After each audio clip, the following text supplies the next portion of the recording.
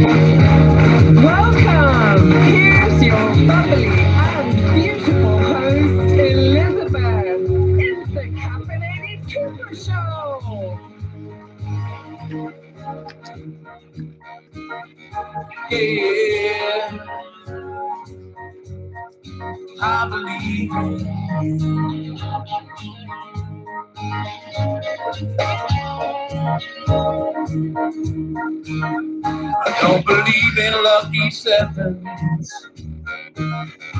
I'm not sure about Loch Ness. But I know I believe in angels. I believe in happiness. Good evening, everybody. It's so wonderful to see everyone connected to the show. And, you know, that really warms my heart when you do comment, say hi to our guests, ask any question you would like. Now, of course, I'm always censoring the questions, I do have to tell you. Um, but our viewers are so kind and they're so considerate. We get so much love from you guys. And I do want to let you know so, two years ago, we did a Valentine's Day gift giveaway.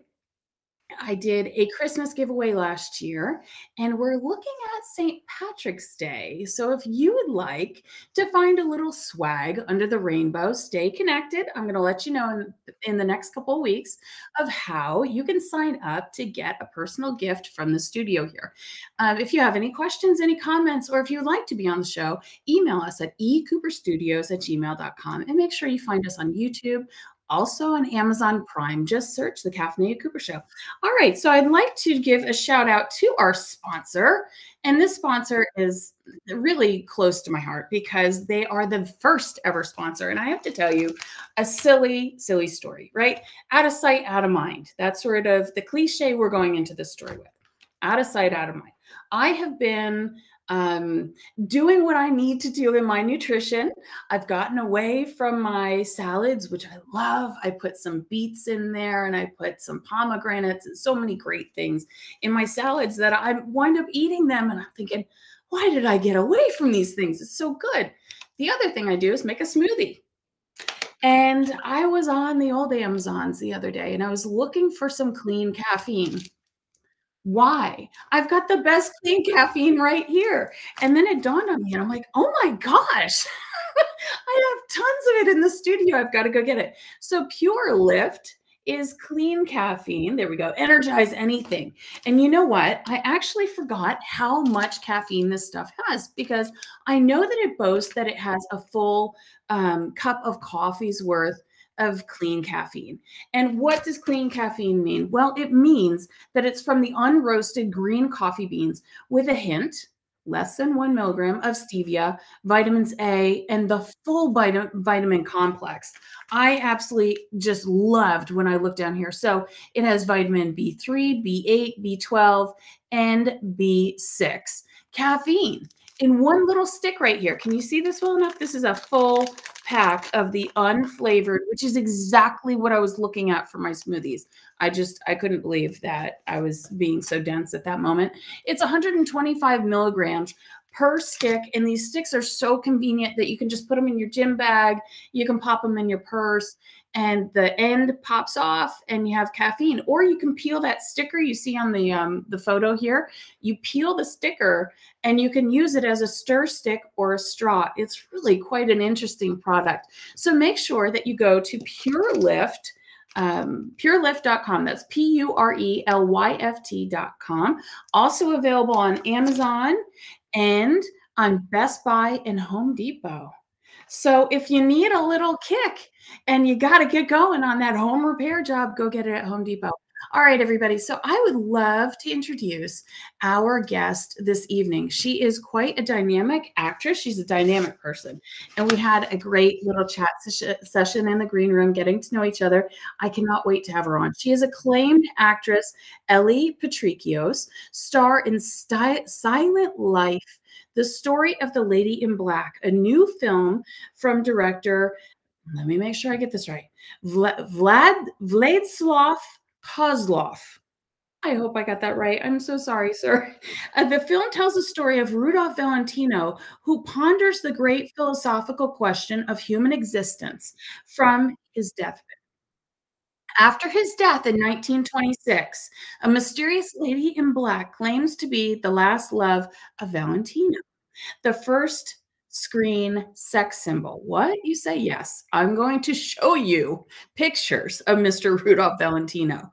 He was a silent film star and absolutely fantastic. And she visits his grave every year on the anniversary of his death with a single red rose. The cast has so many stars in it. It's really a fantastic tale. And without any further ado, I'd love to welcome Miss Ellie Patrikios. Hi, Ellie. How are you? Hi, Elizabeth. Good, good. Thank you for having me. It's wonderful to see you. Yes, you're very welcome. So, I am so interested in this film, but I also did some reading about you. And you have been in the arts since a very young age. Is that right? Oh, yeah. you have a beautiful accent. So, please tell me uh, where, how, how, okay, where are you from? I'm, I'm, I'm, from London, born there, but raised in uh, Greece on a Greek island called Kefalonia. Wow. So it's a bit of a mix, plus 10 years of living in Los Angeles. I'm almost like American-ish too. Yes, you are. That's why I had to I was looking for an eloquent way to ask, you know, that's that question. Um, and so okay, well, thank you for sharing with us on that because your accent is absolutely lovely. And when anyone searches you, Ellie Patrikios, you have voiceover work, um, I believe you've narrated a book, one of the things I was listening to. You have so many different talents. What are some of the talents that you gained earlier in life? Ooh, storytelling was always a thing for me. So it was, it kind of began with puppet shows. I used to host these puppet shows for the village um, in Kefalonia in like the small area called Margatonata. So I had these puppet shows, and then my mom had this old Sony Cybershot camera that um, it kind of became this thing between earning pocket money or using her camera for a few hours. So I always took a camera for a few hours, and I started wanting to make my own films. And um, I made my own silent films because I didn't really know how to add sound. Um, and um, started learning how to edit film, and then I started kind of like making sort of French impressionism, sort of German expressionism films, like with subtitles at the bottom. So again, silent films and hiring like my friends, paying them with sweets because we were quite young. And um, from that, I I began doing theater. Um, always always like the when i started doing theater i was kind of like wow. And it started off with uh, the nativity set. I got cast as the virgin mary. I lost baby jesus. Um, yeah that was my first that was my first crisis on stage and i loved it like it was it was you know the audience was la- were laughing and it gave me such a rush it was like wow i think i want to make people laugh so then it became that for me. It was just like loving this audience reaction, loving theatre. Um, wanted to do musical theatre as well because always been involved with music first and foremost before acting and all of that. So that that kind of like was cool to be able to do both in one. I didn't, you know, it was all a new thing for me. And I went to a stage school when I was about 14. So it was like half of the day uh, dance, musical theatre and drama, and the rest of the day was academics. I mean, it was, it was literally like the perfect school for me. And I was there till I was 18. And then um, I applied for a film school, um, which was referred to me by my aunt who lives in San Diego. So Auntie Barbara comes over every year, and she said, you know, film schools in LA, that's kind of where you have to be. And um, I thought about it and I, I just immediately I googled it and I, I saw the New York Film Academy and I was like, wow, this school is cool and they host so many. There's like all these different calibers of storytelling, like uh, documentary as well, which was something I was interested in. So I actually applied as a film student, but ended up getting a scholarship for an actress, like to do take on the acting for film uh, bachelor's thing. And they said I could do film craft there as well. It's kind of the all round, it was it was a great idea. And um, yeah, I met up with the the casting for the school in Leicester Square. when I, when I received the scholarship, it was kind of like a okay, they they want me, I want them, like 100% going. And I moved here when I was 19. Wow. So that was I thought I was very old at the time. I was like ready to leave, mature, doing what I love, and I, I never really saw anything else in life that I wanted to pursue like the way I, I have for this passion. So oh My goodness. 19. I mean, that had to be really daunting.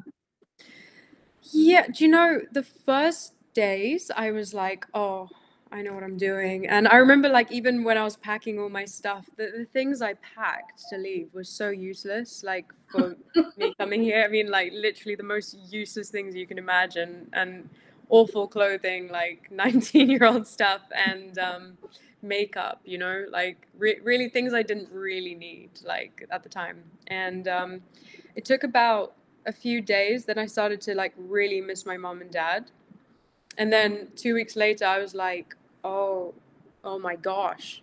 I'm i'm actually pretty homesick now. And um, i thought i'm actually kind of young. Like i'm actually much much younger than a lot of my other classmates. And i thought wow how am i like what do I, you know, because you have all this like freedom that you never really had, and now you're this adult, but you're also not. You can't, you can't go out really. You can't do these, and then yeah. So it's just kind of like, and also like, what am I gonna make for lunch? It was just like all these questions that I didn't really ask myself when I said I was ready and old. Wow. Yeah. Well, you know, that's nice that you went into a school situation. Um, Yeah. So many people that um, really want to capture the dream of being within the entertainment arts, may it be producing, directing, casting, acting, and so on and so forth. You know, they move into LA or New York, um, just just on a whim, if you will, you know. Um, so I like the structure. So so far you've got really great structure. And I have pulled up your sizzle reel. Can we take a look at that? Because I, I'm not too sure. Do some of these show you as a younger person? Acting. Yep. Yes. All right. Oh. Let's look at this. All right. So this is Ellie Patrikios, her sizzle reel. Let me just set it up the right way here. person that you think I am. Mike, I have done some things.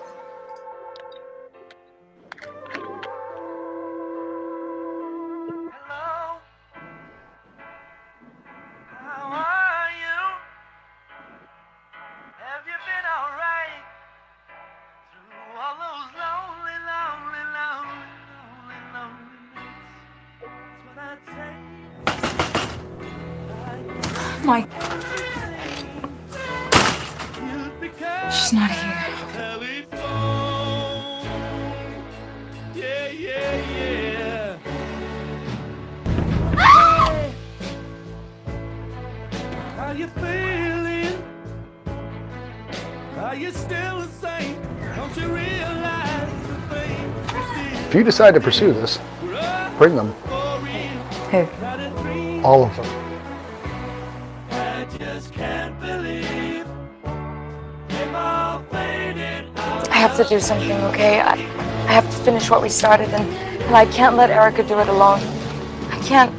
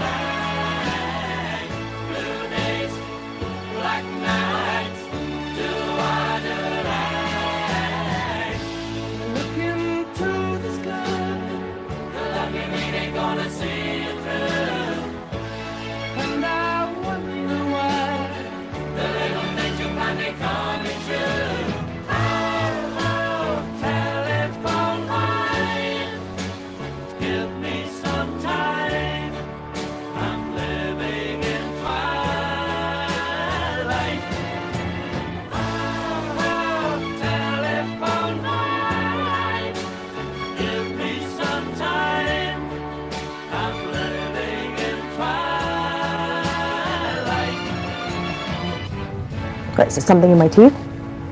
Why aren't you talking? Oh, I wish I didn't know about you and Jed. Well, I'm not embarrassed of him. Oh, then why did you keep your little fling a secret? You used me. Okay. So no one's answering. Well, can't you just let it ring a little? Oh, Courtney, it's fine. I, I really wasn't trying to continue the conversation. Through shadows of the night. Let it ring forevermore.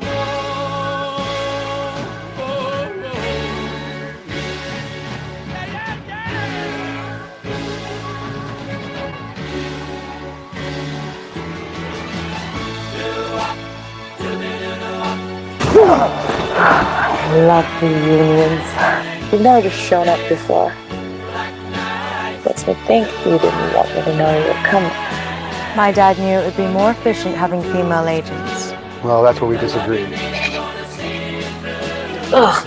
I never liked cigarettes. Or alcohol. What do you two have planned on this lovely day? Uh, nothing special. Oh, God. You said no one could find us. I can handle it, okay? I don't know about that. You still have feelings, and that's gonna get you in trouble. How? I never understood why powerful men would risk everything for a blowjob. Nope. yes, I have had the pleasure. It's better for you if your friend shows up. What? I know you well enough to know that you're not a bad person. I wish that was the truth. And you won't let me help you. Because there's nothing you could do. Jesus Christ. Amen. Wow. That's wow. I think there's a lot of people watching that going, um, maybe I should go do something else because she's got it Oh. covered. Oh my goodness. You that's quite a diverse repertoire of what you have built for a sizzle reel, you know, and so many different characters there. But what I love is that I can still tell it's you. Oh, thank you. Thank you so much. Very, very welcome. You know, everybody has a slightly different way of that character development. What would you say is your way of developing a character? You know, of course, we all know how that character breakdown, maybe a name to the character. You'll get part of the sides and you audition off of that. Um, but then once you get the full amount, and some productions will give you the full script, which I love because there's less you have to imaginatively create, and you know you're going in the right direction. But some of them will only give you your scenes. Um, so, what is your method for for enveloping that entire character? Because we can tell that in your sizzle reel, you are 110 percent in it. Thank you, Elizabeth. You're very welcome. You know, it's it's funny because it's it's, it's also a really good question. Um, it's something that has literally changed each time for me, um, and I've sort of adopted the things I liked from each time.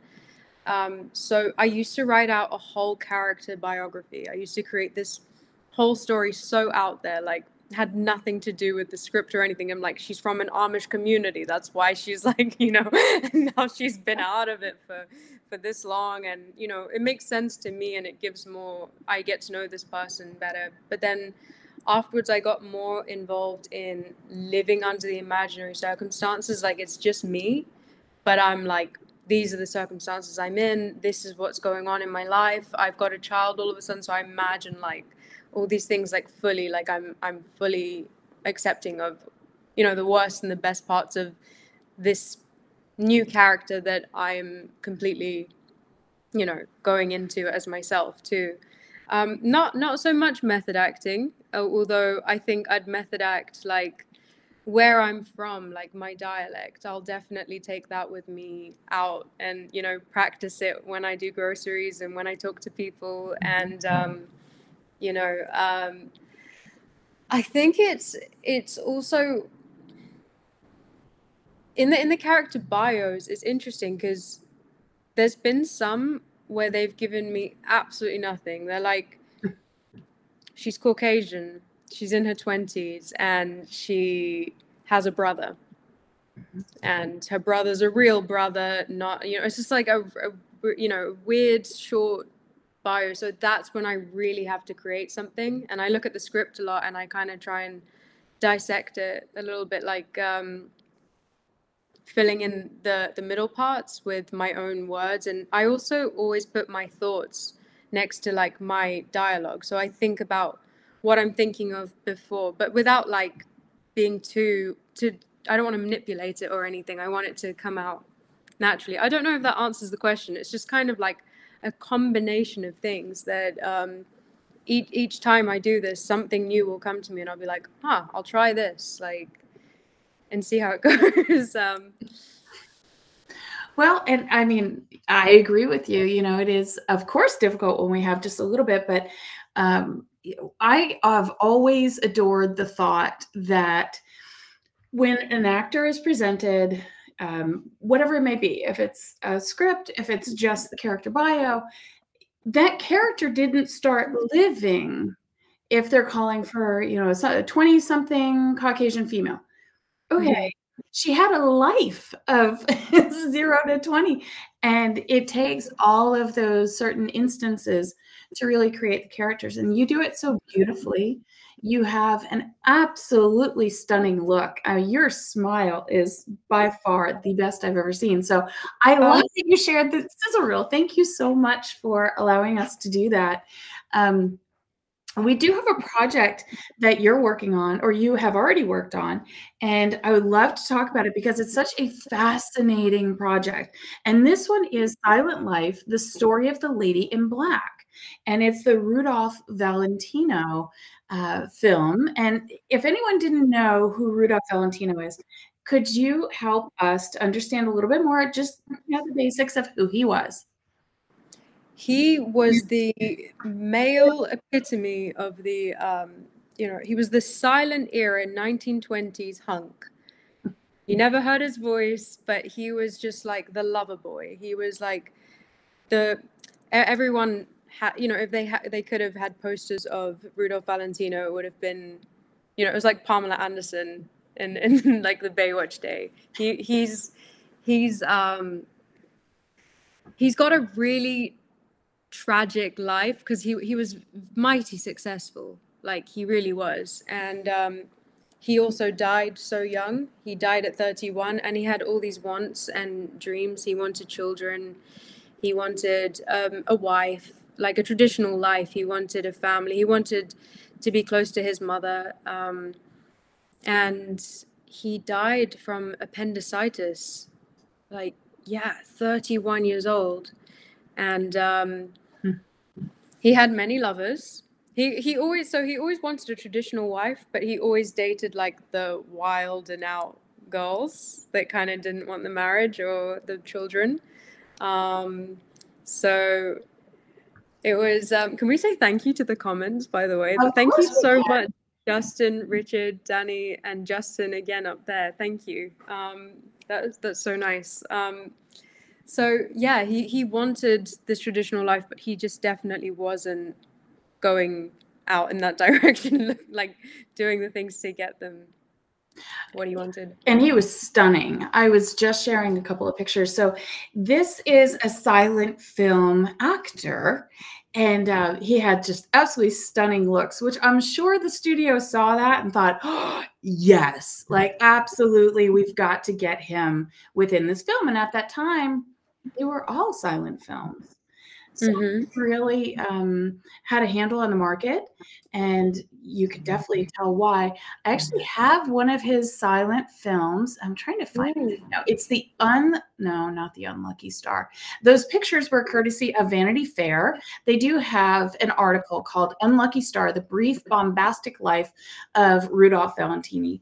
Um, I believe I said that wrong, didn't I? Valentino, Valentino, Rudolph Valentino. I'm so sorry.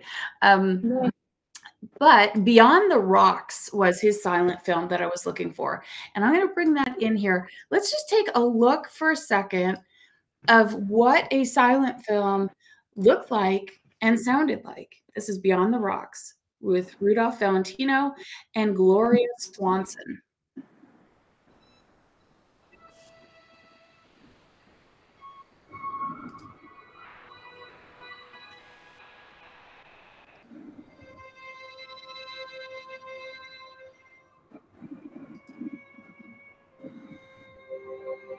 Thank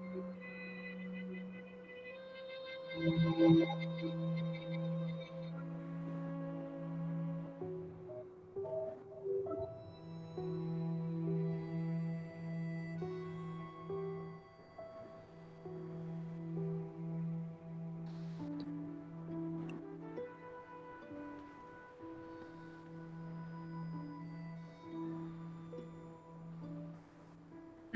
So you could see everything had such deep thought and um, intent, strong intent behind everything they did.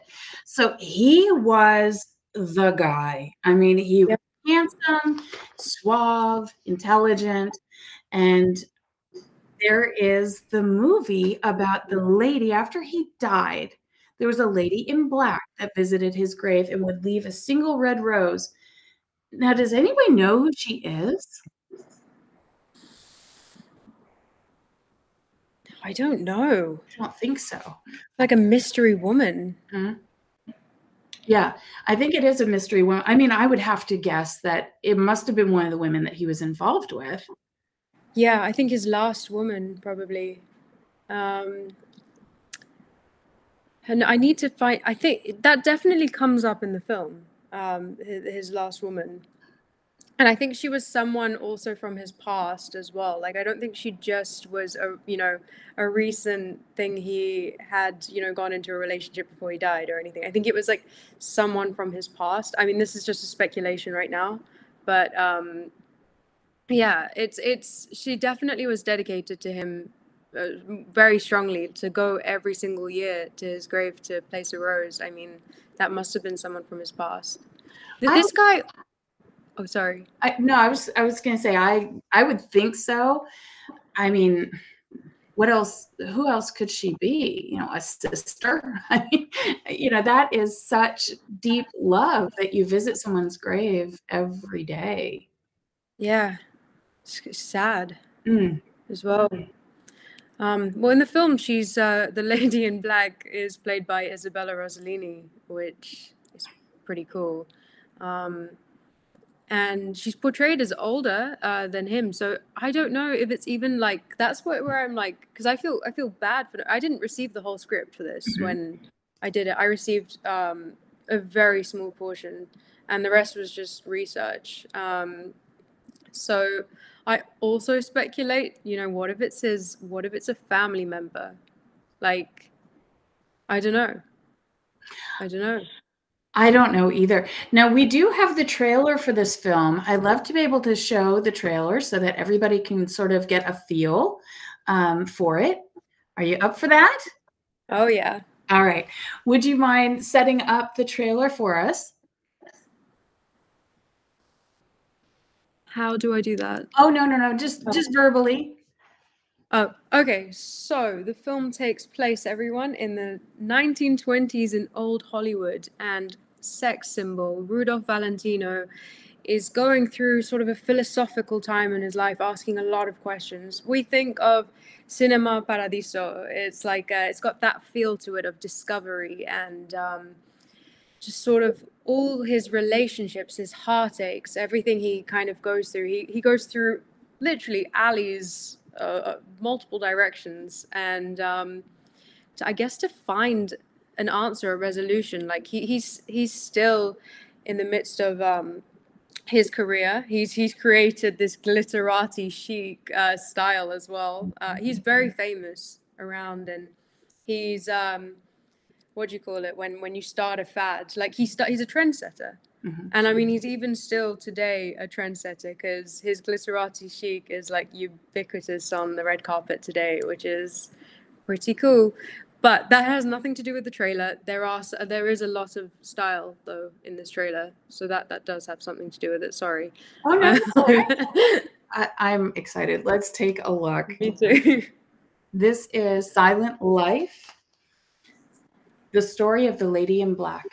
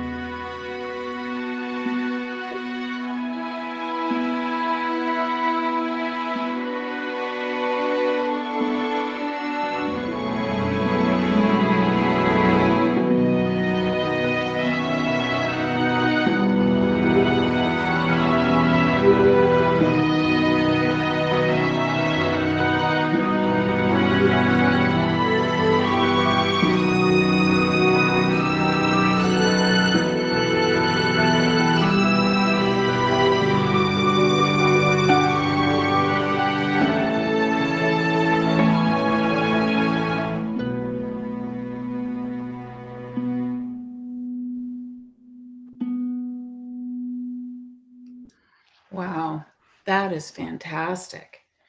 Oh my Yeah. goodness. It's I mean, you really want to watch that movie to find out, you know, what they uncovered, and that is phenomenal. Well, congratulations on your casting Oh, in that film. thank you so much. Thank you. You're um, I'm, I'm welcome. Yeah, definitely looking forward love to it.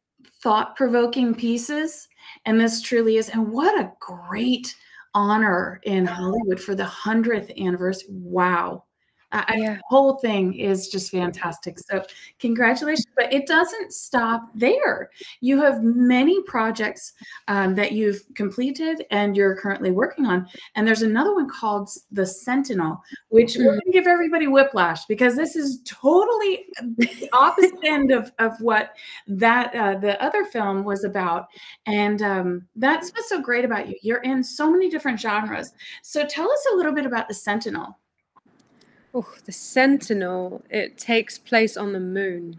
So all humankind has almost been eradicated on Earth from an alien invasion. This is a sci-fi, so it's completely, you know, out there. And um, most people have these sort of like it's a secret military base, and it, the government is on the moon, and they do these assimilation tests. Everyone has to take them, and three of the best results get chosen to go back down to Earth and take the remaining survivors. And my character is one of the three. And um, one of the three is also a hacker. So he kind of hacks the uh, shuttle. Um, and uh, that becomes a bit of a problem because we end up going back into three different periods of time, all to try and like find the you know the end result the survivors and also defeat something that is waiting for us on earth like um a giant alien i suppose. It's like the king kong of aliens. And um yeah. We, we also it's like hard to breathe on earth now. And so there's a lot at stake. You have like a lot of heavy gear going into there into back into earth. And you can't withstand it for too long. So it's also on a time limit and a film time limit. Oh, wow. That sounds so very, very interesting. When is this one set to come out? This one is set for the end of the year, if all goes well. Um, so yeah, 2023 August, I I believe, August or September. That is absolutely fantastic. I mean, what an interesting film. So Yeah. life set on the moon. Really cool. And what was your character? She is a badass and she was actually born on the moon, so she's never set foot on Earth. She has no idea what it looks like even. Well, I mean, she gets she's gotten briefed about it and she's been shown images, but to her it's like, you know, it's like what we look at as images of the moon. Um so setting foot on Earth for the first time was like honestly the coolest thing I've ever done as an actor. Really, uh, because you kind of get to like I, I mean i always appreciate earth um going outside but like this time it was like kind of wow like because i'm really there i'm really believing it and everything is just this new world the grass how grass feels and and the other the others have you know they were born on earth so they're they're just like down to business and you know my character starts off as a more down to business person but then gets just kind of like wowed and in awe for the beginning part until there's there's a couple of issues Mhm. that I mean, thank you so much for sharing about that. I love how you are on the poster and it's really nicely done. oh yeah Yeah, beautiful. My goodness, excuse me. oh no i hope you're You okay It's so dry, and the dry Yeah. hits me, and then I start coughing. So I I apologize for that. But um, that I mean, yeah, I- there's so many different questions I can ask you about. You know, the preparation for seeing everything so new for the first time. But in Mhm. preparing for this character, was there anything that was most difficult where you thought, oh wait a minute, I really have to take a moment and and Yeah. get myself there? Definitely. Um and it was actually it was the first few days. Uh i knew we had some armor but i didn't know how heavy this armor was and i didn't know it was drilled in. Like we had a actual drill gun drill us in and it wasn't like armor that you can take your spacesuit off from underneath and use the loo. It's like you have to get undrilled take that off eh, from there's like four people four five people around you like helping take off this armor so that you can take off the space spacesuit and use the loo. I know that's like a, a small thing but like you need to use the loo throughout the day. So that was um, an interesting situation too because it was so heavy this armor and i've also got this big gun and i'm not really used to guns like um, at all. In fact i just learned how to shoot a gun at a gun range for the film prior to this one but this was like you know this was like a bigger gun and i had to learn how to be really combative and like walk like a kind of it was like almost like physical theater it was like crouching and like running at the same time and also learning how to do stunts with the gun and all this gear and um like high jumps with i, I did a lot of the stunts uh, Mhm. myself um and then i do have a stunt double thank god um because there were some things like running up a falling staircase that I just didn't know how to do. Um, so I kind of filmed the ends of those things, although it sounded like a great idea at the time to undergo th- those the the bigger part. Uh, it was just better uh, for for the health and safety of the actors, right? Um, Mhm. And leave the professionals to that. But um, yeah, the, that the challenge was really kind of getting the physicality. I'd been training a lot at the gym to try and get stronger and um, you know fitter for the role, and um, so it was just kind of learning how to maneuver with the gear on top that I had no idea what it was going to be like, and this big helmet which you can barely move your head. Um, and then there was a few moments like it was sort of I watched a lot of um, space landings, uh, watching how astronauts go through the G-force, and um, and the layers of the atmosphere and how how they interact with that and you know how they feel, and I watched it with my one co-star at breakfast before we shot it as well. I said, "Have you seen this?" And then he was like, "Yeah," because we had to synchronize something, all three of us,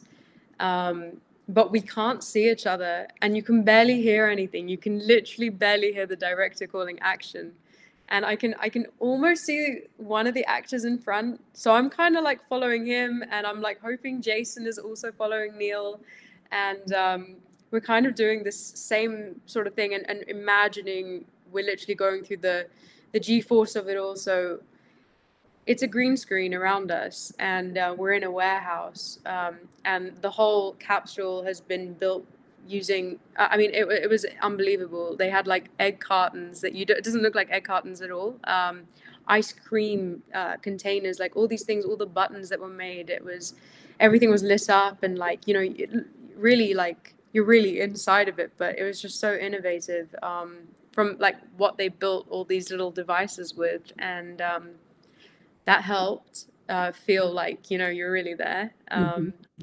But yeah there was definitely a challenge of getting in sync with the others with all the gear that, that was that was a hard spot I think for me.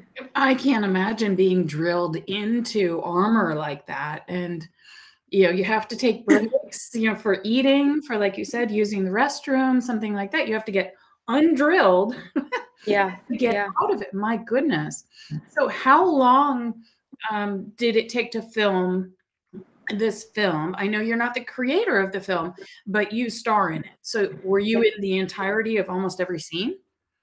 I was there for three weeks of filming. Mm-hmm. so that was quite quite a bit. And we filmed this in um, turin in italy. Mm. Um, yeah, they, they flew us out to film this film that takes place in space um, in, in, Italy. It was great, um, but it was it was very it was a very cold time, um, and yeah, three weeks, three weeks of filming. But the whole film together has taken yeah a long time because of all the CGI and sure. they they got a really good team for the CGI. It's the the guys who did the Fast and the Furious, the Spider-Man trilogy, um, like all, all like quite quite big explosive uh, films that you know. So I'm I'm really happy about that. Like that sounds amazing. I was like I haven't I have no idea what it looks like just from the trailer only and like you know, but and the script the script was hmm. very descriptive. So if it's anything you know. Like that, that makes it so much easier, doesn't it? A well written script Oh yeah. Makes an actor's job so much easier. And it, what a creative, interesting film. And there's a lot of films about space in many different genres. You know, may it be, of course, you know, doc, documentaries, something more true to the story of, like you said, videos of astronauts actually experiencing the G-force and uh, leaving the atmosphere and things to even like the comedy end of films and the action um, where would you say that this film, what exact genre would you classify this film to be? Definitely sci-fi. Sci-fi slash action and adventure. Okay. Definitely. Now, all right. So we understand that it's life on the moon. For your character, are you able to tell us? Um, does it follow you through any? Um, hmm, how do I put this? like are there romantic interests are there human um type of relationships and things like that within the story that come to an interesting point that you enjoyed? My character is actually a lesbian and that was sort of decided very randomly. It was like on the day of because that so the, the three of us they introduce our characters. We're all in these individual pods and you can kind of automate it so you can like turn the blinds up on your pod and you can see all the other pods. It's just this like big neighborhood of pods that people are living in or or you can have it like shut down. One of the guys is like a re he's so into fitness. He's always doing push-ups and he's just like that guy. And the other guy is a drunk. Um, he's always in the bar drinking. And my character is a bit of a sex addict. So the first introduction of robin is her having sex but with a robot. And it was supposed to be a male robot. And um, yeah on the day they made this change which i kind of liked for robin because she's starring with two male leads. So you'd kind of, as an audience, maybe suspect, oh, somewhere along the line in this like epic journey, there's going to be some kind of romance that takes place between these characters. So it was good to establish like this. All right, Robin's this way, and you know, and she almost uh, she has this great friendship with um, one of her co- one of um, her, you know, one of the three. I'm so bad at talking today. I'm so sorry. one of the three of them, she she becomes very close with the the hacker. Not so much. Um, she's kind of, you know, they're both a bit annoyed at the hacker who messed with the system because now they're stuck all in different periods of time. But Robin ends up finding. Um, so my co-star's name is Jason Moore. Um, he was in uh, Marvel's The Punisher, Netflix's First Kill, which just came out this summer, and so Jason and I, our characters, um, stay very connected throughout, even though they're he's in the future and Robin's sort of in the present time, and Neil's in the past. Um, mm. They stay connected through. They all get these gadgets from uh, the government before they go down. So they have these like kind of I guess Apple watches in the future type thing, where they can talk in and like say, you know, I'm here, and she's going past like graffiti trails that he left for her, so he can she can find her way and so she does meet up with him later but he's like 20 30 years older now and he's an like yeah he's an old man at this mm. point. And um, there's almost like a fatherly there's like a fatherly connection with him and and my character which was really nice. It was just sort of like they really care about each other. They've just gotten to know each other throughout this whole thing through an apple watch you know and then when they finally see each other it's all emotional and they they have to like defeat this thing so that you know and um, he when when my character that not to spoil anything but some stuff does happen unfortunately because i just like you know probably went at the wrong time to try and you know jab something into this king kong alien's eye. Um, he's very protective and that makes him more you know amped up to defeat this thing. Like so he gives the final push of for the monster Mm-hmm. Who knows if the monster's still alive? Um, but he kind of he's very um, he comes to the rescue for Robin and like you know doesn't want it to die. It's a very it's it's got like an emotional connection between the two. I really like that. It it sounds like it has a lot of different moving parts. I mean, it's going to keep you very interested throughout. Yeah. Wow. Okay. Well, congratulations on that. We're going to be looking for that. Do you know how they're going to release it? Thank you. Um, they've been talking about some distribution companies. Mm-hmm. Um, I know that the last film I did with them was the same director. I, I did a, another film just before where I had to use the gun. Mm-hmm. Um, that film is being distributed by Lionsgate, and I don't know if this is in the talks with any bigger distribution company like Lionsgate, but they I, I definitely got word two weeks ago that it's in the line of some major distribution at the moment. So I, I don't know exactly, but fingers oh, crossed. Fantastic. Yeah. That would be thank you. Yeah, it'd be so cool. Like um Oh, absolutely. I mean, that's you know, that's everybody's dream, right? Oh yeah. Yeah. So oh, wow. All right. So now we have a couple of great movies to watch for. Is there anything else that you're working on in the future that you would like to go ahead and mention? Oh, yeah. Actually, um it's a film about the guillotine.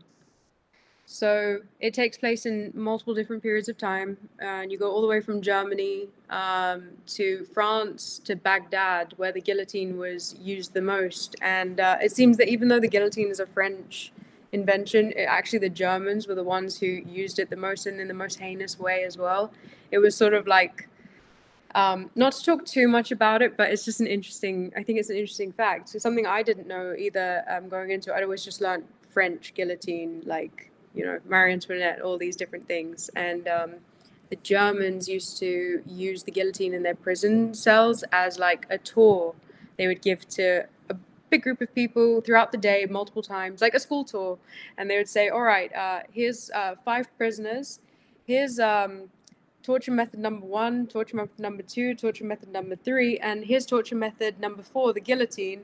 And look how much easier it is. We don't have any mess. And, like, you know, it was prisoners not set to die, they were just prisoners. And, um, it's uh it was a big disgrace and it, i think it just got found out like way later on that they were doing this um and exploiting you know people's lives in front of a mass like they were doing in france but in a different kind of way um and it's all a mess but um yes that film is coming out also this year and i play a french bohemian who um, explores the theory of life after death via taking magic mushrooms. Um, Wow. with with two other scientists and an art, yeah, an artist. Um, and I guess they go into this whole philosophical like insight, and uh, it's very, it's very. I think I got a good scene. It was a much more light-hearted compared to the rest of the drama and like the pain and torment of the other scenes. So I am very excited about the whole the whole thing, but like definitely liked my scene um, and character. It was really cool. So I can imagine. Um, it, now I'm assuming the scene after you know you've ingested the magic mushrooms. There's going to be a lot of conversation. Um, oh yeah. I can only imagine that. Yes, you're going to have deep thoughts, but possibly some other thoughts that don't necessarily.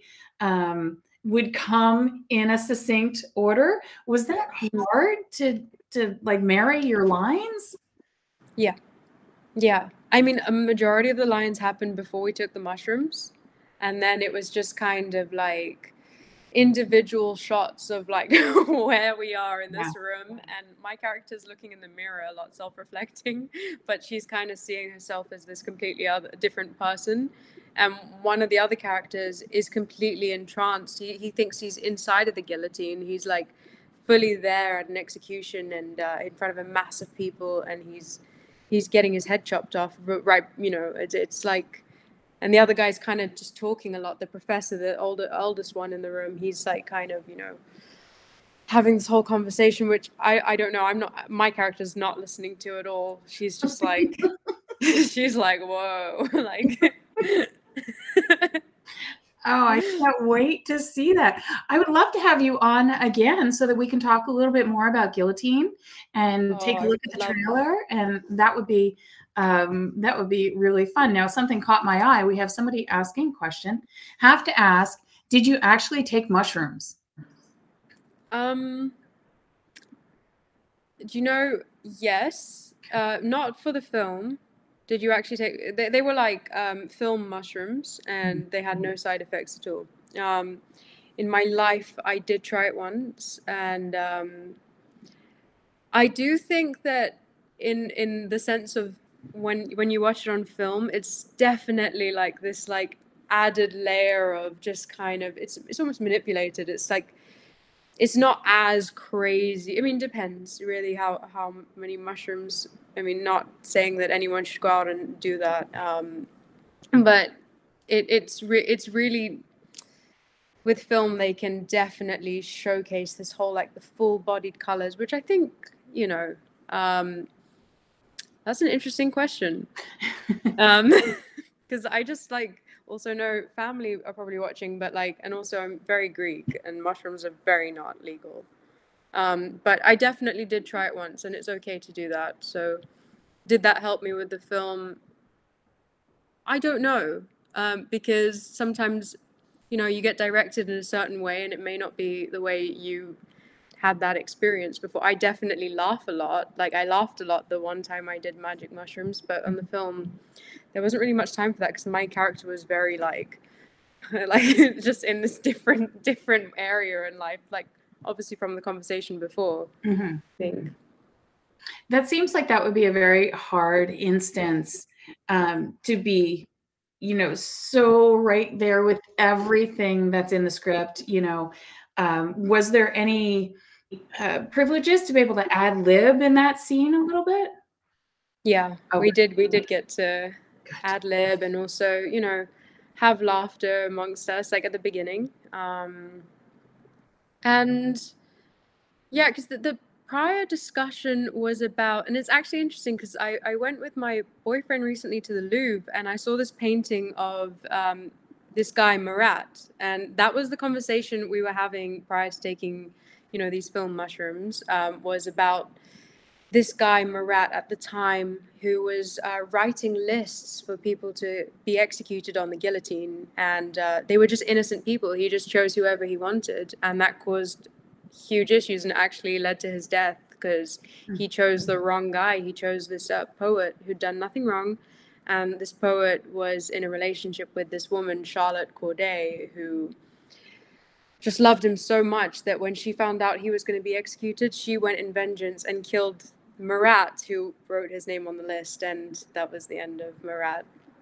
Like so, that was that was the conversation prior we were having to the the film mushrooms, and we got to definitely yeah ad lib some things, and um, That's good. That's got to make it is so much easier. Wow, what an interesting story. All right. Yeah. Well, I would love to have you on later in the year. Let's talk more about it because we definitely have a lot of people connected and interested in this uh, film as well as Sentinel. And congratulations on all of the projects. And I'm sure in, in just a little while, you're going to have so many other bookings that you can share with us because you are really, really very talented.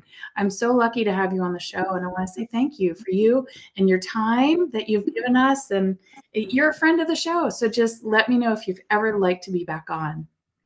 Oh, Elizabeth, thank you so much. It's been an honor, and it would be an honor as well to be back. Like seriously, thank you. You're you're so lovely. Oh, thank you. Thank you. Well, you're absolutely welcome. Before I let you go, though, tell everybody where they can follow you for the most up to date uh, messages about the films that you'll be in and where to find you. Okay, I've been really good at Instagram lately. So Instagram is my name, Ellie Patrikios, and I usually will post a story or a little, you know, little thing here and there. I also same name on Facebook and same name on IMDb, and I have a website. It is E L L E, so it's just ellepatrikios.com, www. before all of that, and um, that's also where I'll post like more of my recent work, more up to date than anything. Um, but yeah, Instagram is a great place. I think it's a great like place to be able to uh, showcase stuff too, as well as in, introduce your personal life as well into it. Okay, wonderful. And the one thing I don't have written down is your website, and you had mentioned it's www.ellepatrikios.com. Yes, yeah. Wonderful. All right, well, thank you so much. We'll see you again soon. Oh, thank you, Elizabeth, and thank you everyone who came over today. You're very And welcome. I'll see you soon. see you soon. All right. Everybody, thank you so much for watching. I love that we have had so many people connected with us this evening. As always, we are blessed. You are blessed. And I love you. I'll see you very soon again. Take care now. Ellie, we